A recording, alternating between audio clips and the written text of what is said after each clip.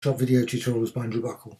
You can, in recent versions of Photoshop, export the layers and you can export them at a particular size. So if you go over here, so I've got some type and you can export that as that size and you can export it just as that size.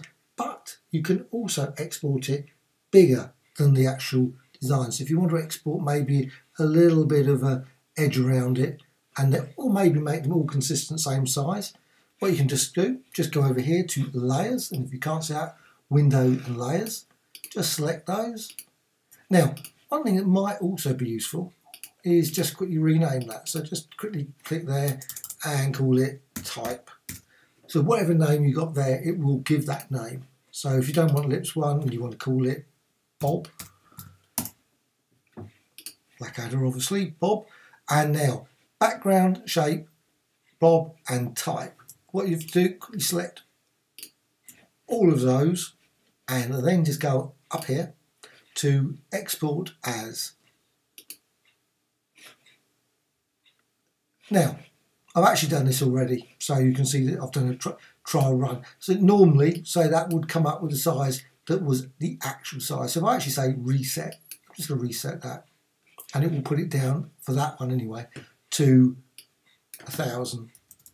So you can actually put that back to a thousand and give it a little bit of an edge around it. So you've got that edge, they're all going to be consistent, same size. Like I say, they're all different sizes. That one was six, so I got up there, 776, 793. But I forced it by using canvas size, you can force it to have this edge around the image so it's not crunched up against the, the actual layer. There's also other options, obviously PNG, JPEG, GIF, etc. and transparency.